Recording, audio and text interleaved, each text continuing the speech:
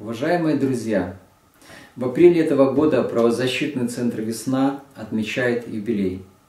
25 лет назад, после разгона властями Чернобыльского шляха, мирной демонстрации, группа волонтеров начала срочно оказывать помощь репрессированным, собирать и распространять информацию об избиениях и пытках. Авторитарный режим Лукашенко тогда только набирал силу. Мы и думать не могли, что наша работа растянется на четверть столетия, что в 2020 и следующем, 2021 году мы будем иметь дело точно с такими же нарушениями прав человека, но увеличенными до чудовищных размеров. Премия ОБСЕ «Защитник демократии», которую нам дали весной 2020 года, когда еще ничего в Беларуси не предвещало о грядущем общественно-политическом кризисе, в какой-то степени подводила итоги нашей непростой предыдущей работы. Борьбу за честные выборы, за право на мирное собрание и распространение информации, за кампанию против смертной казни, за сотни образовательных и просветительных правозащитных мероприятий, проведенных нами за то, что мы упорно расширяли границы наших урезанных свобод. Но кто же мог подумать, что эта премия станет символическим авансом в залог той работы, которая нас ждала в следующие месяцы? Были ли мы морально готовы к тому, что произошло во время и после президентских выборов? И да, и нет. Мы уже переживали общественно-политические кризисы 2006 и 2010 годов, когда сотни людей обращались к нам за правовой помощью. Мы уже сталкивались с пытками силовиками мирных демонстрантов, с политическими и уголовными процессами. Мы также понимали, что во время кризиса опасной становится и наша работа. В 2003 году власти несправедливо ликвидировали регистрацию правозащитного центра «Весна». В 2011 году был незаконно арестован и осужден я. Десятки моих коллег за эти годы подвергались разного рода репрессиям.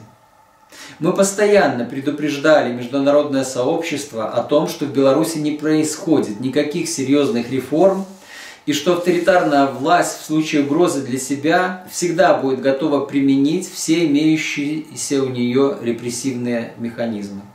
Но и мы не ожидали того масштаба репрессий, которая обрушилась на белорусское гражданское общество в августе 2020 года и которая продолжается до сегодняшнего дня. Убийства, сотни раненых, тысячи испытавших пытки и издевательства людей.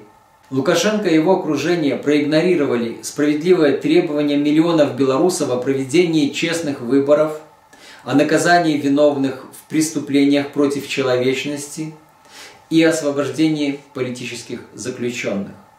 В стране правовой дефолт и фактически необъявленное военное положение.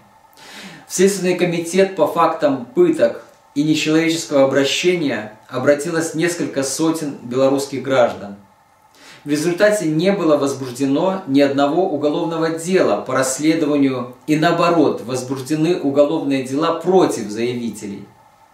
Власти покрывают преступления силовиков, а также провластных активистов из ближайшего окружения Лукашенко, замешанных в преступлениях. Запрещена любая гражданская активность. Сотни политических заключенных томятся в тюрьмах. Практически каждый день возбуждаются новые уголовные дела с политическим подтекстом. Под удар попадают активисты избирательных штабов, политики, блогеры, преподаватели и врачи, неполнолетние и многодетные матери, представители национальных меньшинств и священники, журналисты, адвокаты и правозащитники – Десятки тысяч белорусских граждан вынуждены были эмигрировать, опасаясь за свою свободу и здоровье. Чудовищное давление на белорусское общество продолжается.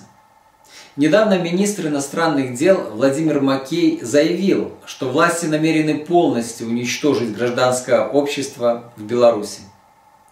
Только в марте 2021 года по политическим мотивам были задержаны 1139 человек, 105 человек были осуждены по политически мотивированным уголовным делам за март месяц. Из них 79 человек заключены в тюрьму. Год назад в Беларуси было трое политических заключенных. Сегодня их более 350, и это число постоянно растет. Свое 25-летие правозащитный центр «Весна» встречает под ударом властей. Четверо моих коллег из «Весны» уже несколько месяцев сидят в тюрьме. Леонид Судаленко, Татьяна Ласица, Марфа Рабкова, Андрей Чупюк. В феврале было возбуждено уголовное дело против членов «Весны», прошли десятки обысков, многие мои коллеги, и я в том числе, вызывались на допросы. Существует угроза, что многие из нас в ближайшее время окажутся в тюрьме. Обвинения властей против правозащитников абсурдны. Нас преследуют за нашу правозащитную деятельность, за то, что мы помогаем репрессированным. Собираем факты о пытках, опубличиваем информацию о нарушениях прав человека в стране. В Беларуси сейчас происходит цивилизационная гуманитарная катастрофа. На глазах у демократического Запада планомерно уничтожается гражданское общество. Осталось еще немного, и Беларусь превратится в аналог Северной Кореи в Европе и станет источником постоянной нестабильности и угрозы миру в регионе. Мы призываем демократические страны оказать всевозможную помощь белорусскому народу, оказать максимальное давление на белорусский режим с требованием остановить политические репрессии и начать переговоры с гражданским обществом. Белорусский колокол сейчас постоянно стучит в сердце Европы. Несмотря на репрессии и террор властей, мы восхищены и воодушевлены стремлением белорусских граждан к свободе и демократии. Мы искренне поддерживаем мирный характер народных протестов и выступлений. Мы верим, что наша работа была не напрасной. Правозащитный центр «Весна» упорно продолжает вносить свой скромный вклад в демократическое будущее нашего народа. Живе Беларусь!